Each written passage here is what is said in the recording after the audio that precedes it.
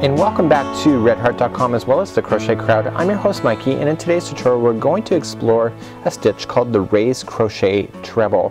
This looks like little pebbles. Um, I've found with the cats, they love the texture on this particular stitch. Really quite nice and fabulous to do. If you change the colors uh, lots of times, you are going to end up with a really interesting project.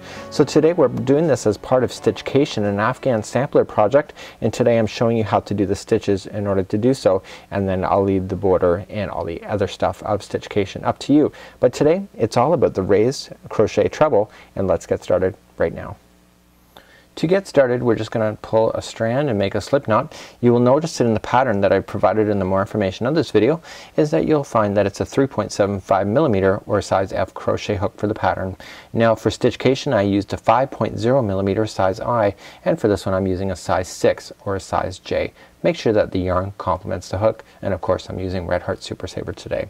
So for the actual square for stitchcation we are going to chain 36. Remember this one on the hook already does not count as one. So one, two, three, four, and five. Please go all the way to 36 and I'll see you in back in just a moment. To start off with the chain properly what we want to do is that we want to single crochet ourselves along this chain. So it says that we have to go second chain from the hook so we got one and two turn it over and get the back loop of that chain.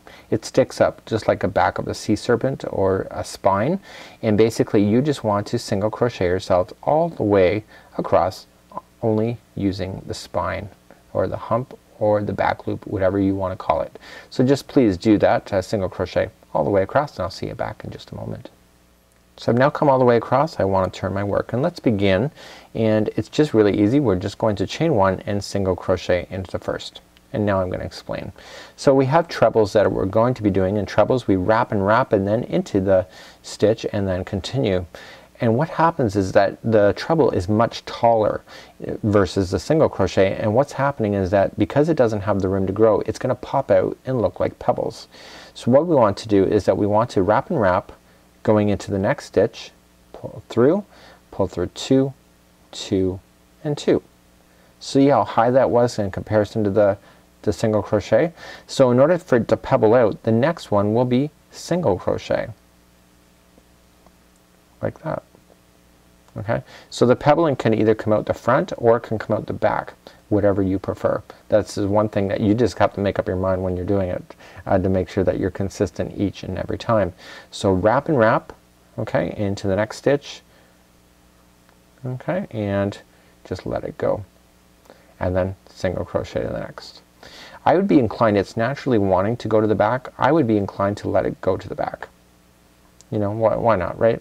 So wrap and wrap into the next why fight something that it's naturally wanting to do on its own? It really I don't think you even think it really matters.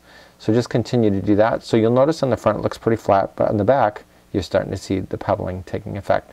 So please do that all the way across and I'll meet you back in just a moment. Take you further into this stitch. So we're coming up to the very end of the row. I'm just maintaining that every other one is the treble and the other one is a single and you're gonna end up with a single right at the end easy right? So we're going to turn our work and you'll notice that all the pebbling is now in front. Isn't that pretty severe? Isn't that fabulous? It's no wonder the cats like it. I want to grab it. So this is very much like the other stitchcation squares that one row is all the work and then the second row which is now is just chain one single into the first and single crochet into each one going across. So you're only going to do the trebling stuff every other row and then single crochet the rows in between those. So it becomes really easy. So let me uh, get all the way to the end. You can change your colors at any point. It looks fabulous and it's something that I would strongly encourage. So now come all the way and this is operating very much like um, most of the other stuff where everything is going to work up in a straight line. This is not like the popcorn. The popcorn when that came out it came every other one so you had one, two, and then three like a triangle. This one here these will stick out straight going up in, the, in, in a vertical and horizontal position.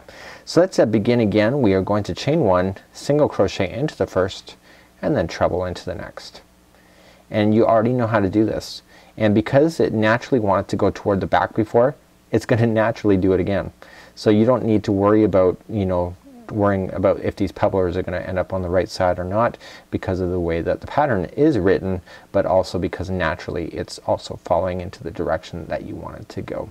So this is uh, very easy, very simple. Um, I think this is a really interesting idea. I'd love to try this in the future with other projects to see how it'll work out and um, this is overall an amazing stitch and you can see that it's really starting to work out pretty good. So until next time I'm Mikey on behalf of redheart.com as well as the Crochet Crowd.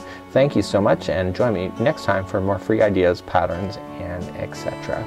We'll see you.